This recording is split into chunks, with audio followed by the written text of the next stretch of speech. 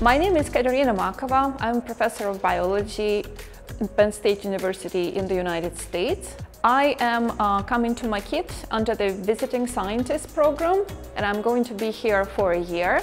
I'm being hosted by ISEM, which is the Institute of Evolutionary Sciences in Montpellier.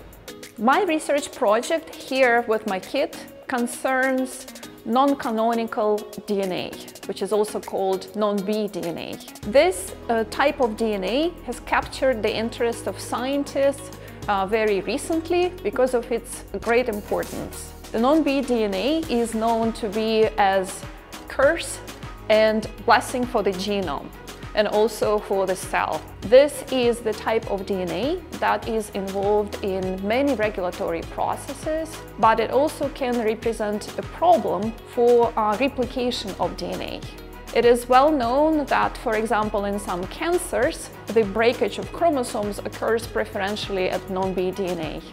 As a result, it is really crucial for us to understand the role of non-B DNA in evolution, but also in disease, as well as in agriculture.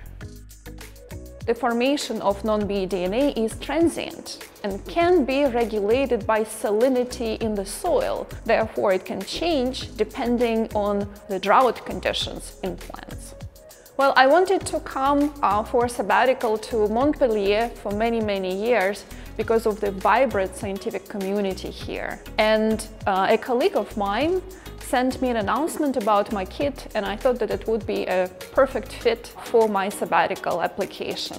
And I was really fortunate to win this fellowship and I'm looking forward to staying here for one year, interacting with many colleagues uh, in the Montpellier area.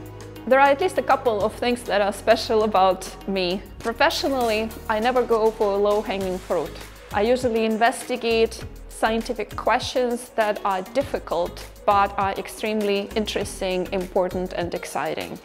Personally, I really like uh, traveling, I really like exploring new environments, but most importantly, I really like meeting new people.